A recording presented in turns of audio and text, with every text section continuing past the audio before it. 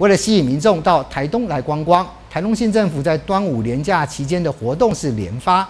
除了二十六号在海端乡办理了“星空最美”的活动之外，二十七号还会在池上大坡池举办热气球光雕音乐会。台东县政府呼吁民众切勿错过精彩的活动内容。台东因为有天然无污染的好环境，造就了美丽的星空。台东县政府也持续推动最美星空的活动。二十六号晚间，特别在海端乡举办最美星空的活动。在最美星空之后，二十七号晚间，紧接着在池上大坡池还有热气球的光雕音乐会，看着火光随着音乐忽明忽暗，倒映在水面，就像一幅画般的美丽。端午节四天的连假，你规划去哪里玩呢？台东县政府端节连假活动齐发，来趟台东，体验与众不同的美。绝对让你不虚此行。记者潘俊伟台东市报道。